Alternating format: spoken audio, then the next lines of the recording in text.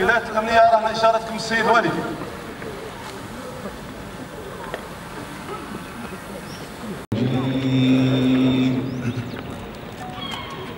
بسم الله الرحمن الرحيم. إن الذين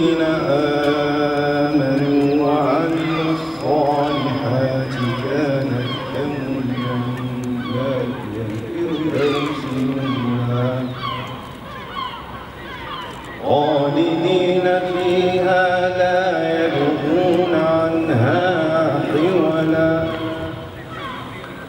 قل لو كان البحر مدادا لكلمات ربي لنفذ البحر قبل أن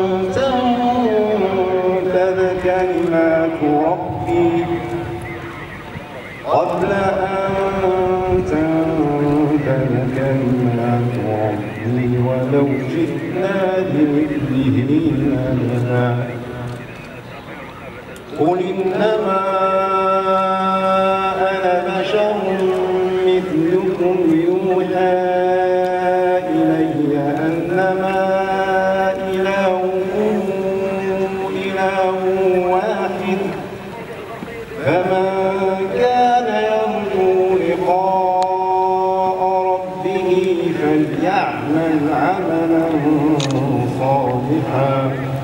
ولا يشرك بعبادة ربه أحدا صدق الله العظيم والصلاة والسلام على مولانا رسول الله وآله وصحبه. السيد والي جهاد الدار البيضاء سقاط عامل العمالة البيضاء. السيد رئيس جهاد الدار البيضاء سقاط. السيد قائد الحامية العسكرية في الدار البيضاء. السيدة والسادة عمال عمالات وأقاليم ومقاطعات ولاية جهات الدار البيضاء سقاط. السيد رئيس مجلس الدار البيضاء. السيد رئيس مجلس جماعة الدار البيضاء. السيد الوكيل العام للملك لدى محكمة الاستئناف، السيد الرئيس الأول لدى محكمة الاستئناف، السيد رئيس المحكمة الابتدائية، السيد وكيل الملك لدى المحكمة الابتدائية دار البيضاء، السيد رئيس المحكمة الابتدائية بالمحمدية، السيد وكيل الملك لدى المحكمة الابتدائية بالمحمدية، السيدات والسادة رؤساء الهيئات هيئات السلطات القضائية العسكرية المدنية والإدارية السادة قدماء وفئور موظفي الأمن الوطني.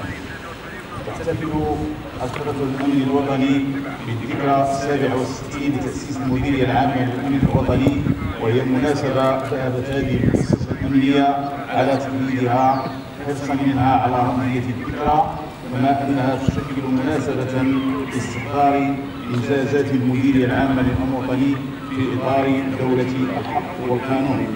أيها السادة الحضور احتفالات هذه السنة تأتي بعد حجم حملته القرفية الوبائية التي عرفها العالم وما تقتضيه من إجراءات وقائية قصد الحد من انتشار الوباء وبهذه المناسبة وجب التنويه بالمجهودات والتضحيات التي قام بها نساء ورجال الأمن بهدف الحث على استمرارية المرفق العام والنهوض بمهامه المتمثلة في الحفاظ على أمن وسلامة المواطنين وممتلكاتهم وهي كذلك مناسبة للترحم على أرواح الطاهرة للموظفين الذين قضوا نحبهم بسبب الوباء أو خلال قيامهم بمهامهم مستحضرين في هذا الباب الشهيد هشام بورزا الذي استشهد بتاريخ فاتح مارس 2023 السيدات والسادة الحضور.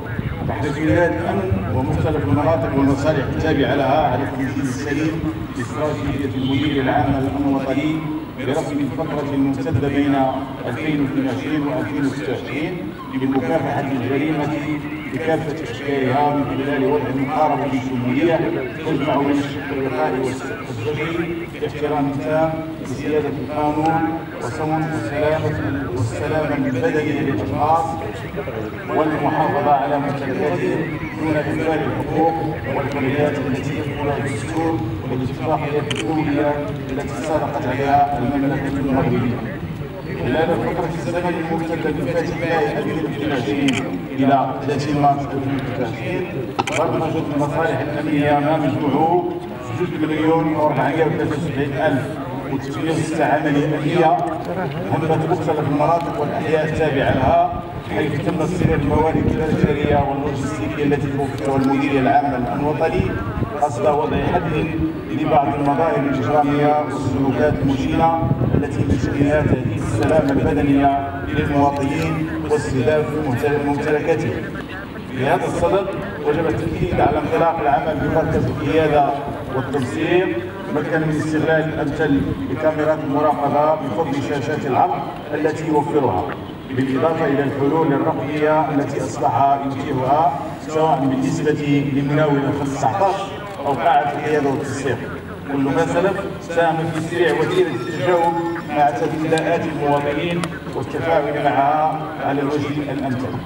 وتنفيذا للتعليمات المديرية التي تقضي بضرورة التعامل الفوري والايجابي مع شكايات المواطنين على مدار الساعة وطيله أيام الأسبوع يتم الحث على التفاعل السريع والجاد مع المنشورات والبدايات التي تداولها تداولها وسائل التواصل الاجتماعي أو من خلال الجرائد الورقيه والالكترونيه وذلك حرصا من المصالح الأمنية على تفعيل مفهوم شرطة الفرد ومحاربة الشائعات التي يمكن التاثير على الاحساس بالامن لدى المواطنين.